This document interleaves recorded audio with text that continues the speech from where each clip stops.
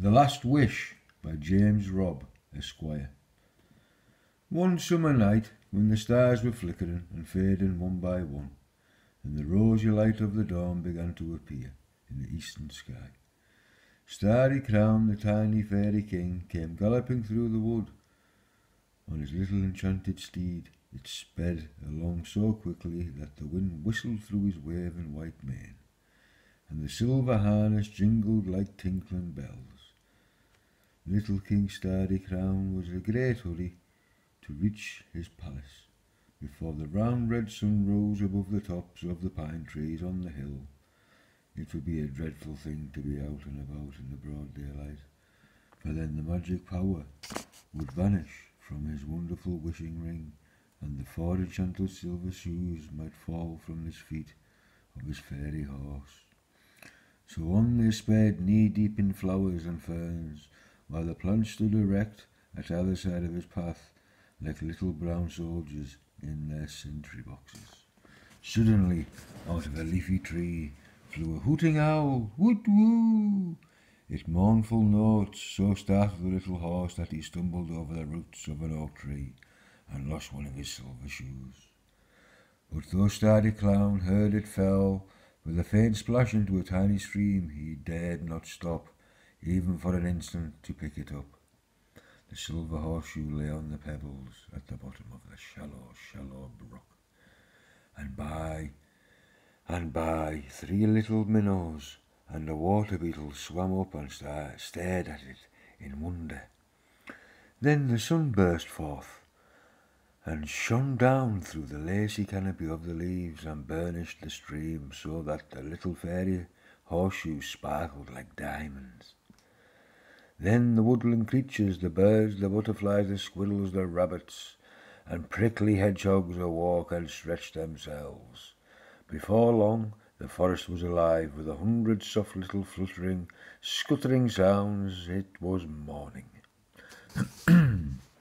At the edge of the forest stood a small whitewashed cottage with a garden full of marigolds and lavender. Here lives Mrs. Gay and her son Jimmy. They were poor, but Mrs. Gay knew how to spend her money wisely, so there was always enough good food to eat and warm clothing to wear in the wintry weather. Jimmy's father was a sailor and was now far away across the sea in some foreign land. Every morning Mrs. Gay would say, I wonder if your father will come home today, Jimmy. To which he would reply, Perhaps he will, mother. And they would often run out to the gate and stare down the forest path in the hope that Mr. Gay would appear and bring them some fortune from the distant shore. On the very same morning that King Starry Crown lost the magic horseshoe, Jimmy looked out from his bedroom window and saw the dewdrops gleaming like jewels on every leaf and every flower. Hurrah! he shouted. Holiday today. I'm gone fishing. So in next to no time, he pulled on his patched clothes and tumbled downstairs into the kitchen to find his breakfast ready by his mother.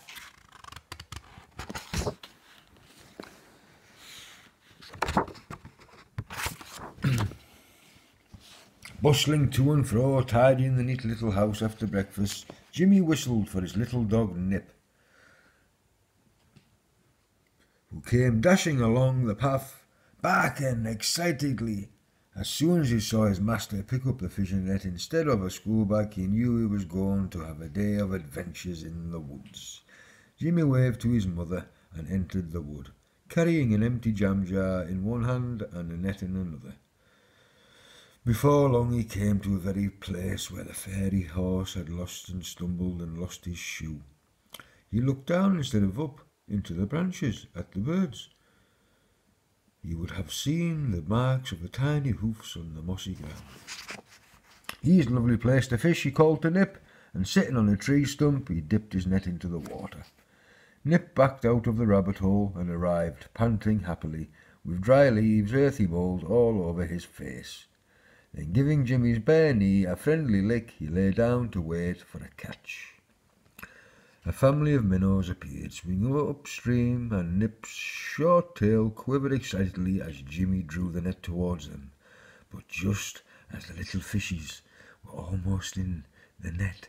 Nip gave a short, exciting bark, and in a flash they were gone. Damn bad dog! exclaimed Jimmy as he dragged the net out of the water. There was not a fish to be seen, but in the corner of the net lay something hard and bright. It was the little magic horseshoe. when Jimmy went home to dinner and showed his silver horseshoe to his mother, she says, Why? She says, Why? It will just do to fix on the heel of your boot, for the iron of cobbler put on has fallen off. So Jimmy took off his left boot and nailed the silver horseshoe to the heel. It fitted exactly right. But no sooner had he put the boot on his foot, the magic began to work. His feet gave a jump and a skip, and something seemed to spin him around three times like a top. Then he found himself running along a strange path in the woods.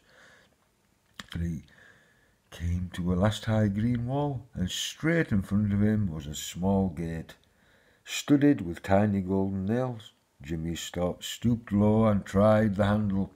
The strange little gate was securely locked, but as he dropped his hand, a small square door in the gate opened, and a tiny voice cried, Who goes there? Who goes there? And an elfin face peered from within. Oh! On seeing Jimmy, the tiny creature gave a frightening shriek, ah! and the little door was slammed with force. Bang! Though he tapped very gently and spoke in a little low voice, the little people who lived there within could not be persuaded to let him in.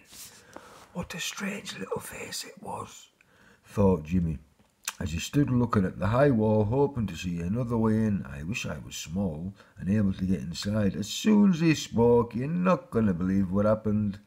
His silver shod heel gave a hop, a skip, a jump, and a spin round like a top and in an instant he found himself on the other side of the little gate. Before him lay a fairy country of many fields, rivers, hills, and valleys. Jimmy saw villages and towns dotted here and there on the distant landscape, and just below him lay the prettiest little town of all. Its little houses were painted bright colours. Three sparkling fountains sent rainbow coloured drops into the air and centre of the marketplace, and the little townspeople hurried busily to and fro among the gay little stalls. Jimmy hurried down the hill and looked longingly at the creamy buns and gingerbread men mm, for sale on the pastry stall. No one paid the least attention to him, for he was now exactly the same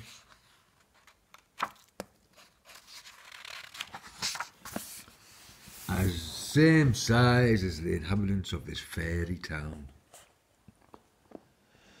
I am hungry, he thought. I wish I had money to spend.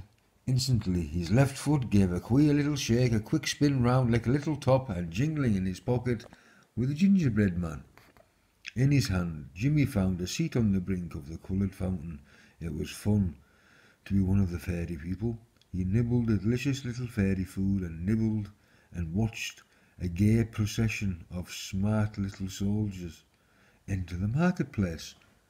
At their head marched three tiny heralds dressed in scarlet and gold. The heralds, His Majesty's heralds, cried the market folk, as they caught sight of the bright uniforms in the centre of the marketplace. And leaving their stalls, the wares unattended, they pressed close to the fountain to hear the royal proclamation. The golden trumpets rang out clear and sweet. Then the chief herald stood on the steps of the market across, crying in a clear, clear voice, Hear ye, hear ye, hear ye, His Majesty's King Starry Crown has lost the magic horseshoe of silver.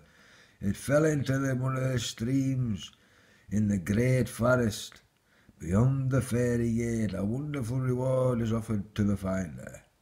The announcement made the heralds blow upon their trumpets and march through the marketplace in direction of the royal palace on a distant hill. Hmm.